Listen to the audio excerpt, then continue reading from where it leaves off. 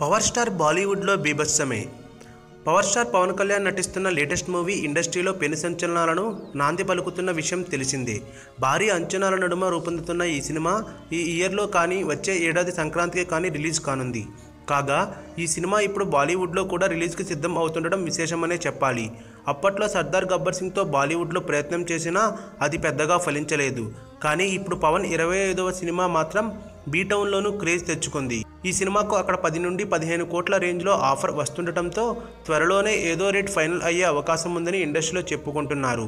పవన్ ప్రతిష్టాత్మక ఇరవై ఐదవ సినిమాగా మొత్తం మీద నూట ఇరవై కోట్ల బిజినెస్ చేసిందని ఇండస్ట్రీలో చెప్పుకుంటున్నారు.